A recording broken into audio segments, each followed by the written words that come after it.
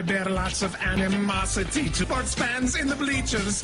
And sports fans in the bleachers really tax my patience. If they vanished, would it really be a crime?